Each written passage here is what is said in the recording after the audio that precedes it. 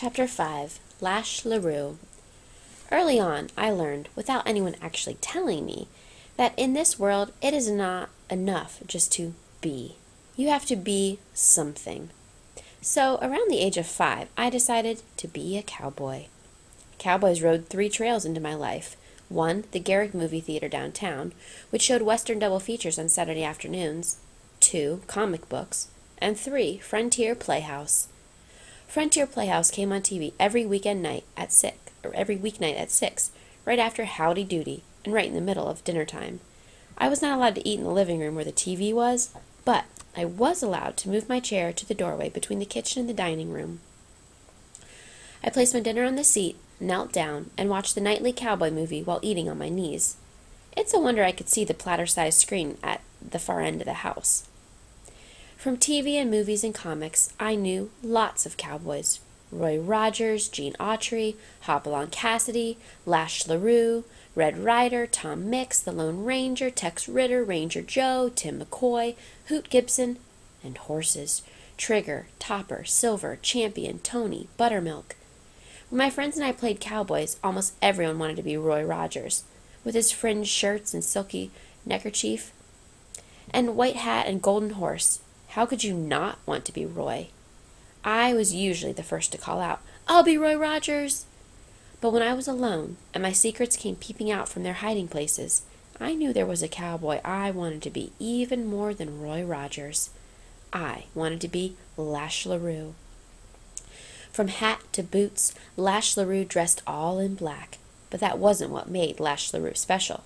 It was the whip. He carried it coiled at his belt, and with it he did almost everything the others did with their six shooters. Was a bad guy reaching for his gun? Lash was quicker with his whip.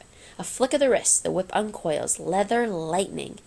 Darts ten, twenty, thirty feet across the Dutch to snatch the gun, barely clear of its holster, from the bad guy's hands. Is the bad guy running away? The whip catches him at his ankles, trips and hogties him, ready for the sheriff. The rawhide, rawhide tongue could lick the spit from the horse's lips or kiss it on the ear. Lash LaRue. I recognized him as cool before I ever knew the word. I loved the West. The songs, Home on the Range, Tumbling Tumbleweeds, Red River Valley, cattle drives, sarsaparilla. The movies made sarsaparilla seem like liquid fire. Imagine my surprise, years later, when I drank my first glass and discovered it was root beer. Stagecoach holdups, box canyons, harmonicas and campfires, and coyotes howling in the night. I had an armament Roy Rogers himself would have been proud to own twin golden pistols in twin white leather holsters. My white leather gun my white leather gun belt had a dozen little leather loops to hold a red wooden bullet to hold a dozen red wooden bullets. Of course the bullets were just for show. The real ammo was caps. Five rolls to a box. They could be bought at one of the two grocery stores. Fralick's next door to next door or Truffles across the street. I drew pictures of good guys and bad guys shooting it out. I considered myself an expert at drawing horses, but my favorite part I always saved for last the orange, red, and yellow streaks that indicated gunfire crisscrossing the picture. Here's a picture of my early artwork, early cowboy artwork. I practiced my drawing until it was as fast as Tim McCoy's. I twirled my golden guns in my fingers. I drank my Ovaltine from a Ranger Joe mug. I played the harmonica. I yodeled. And then, one day in third grade, I went all the way.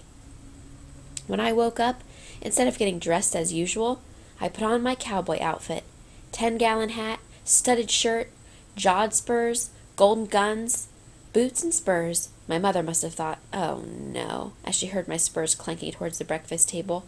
I drew plenty of stares on my three block walk to school. Such was the class facing our teacher, Mrs. Dave- Miss Davis, that morning. Twenty five pupils and one cowboy. She probably checked her calendar to see if this was Halloween. I remember her looking down at me in the first row, smiling gently and saying, Jerry, would you like to do something for us? Apparently, I did, for I stood, faced the class, and serenaded them with I Got Spurs That Jingle, Jangle, Jingle, and shook my boots. A couple of summers later, I had the chance to really live the cowboy life. I had gotten a pup tent for Christmas. Now I could camp out, pretend I was on a cattle drive, Pretend our backyard was a tumbleweed range somewhere in Texas or Wyoming. I invited my other best friend, Roger Edelman, to join me.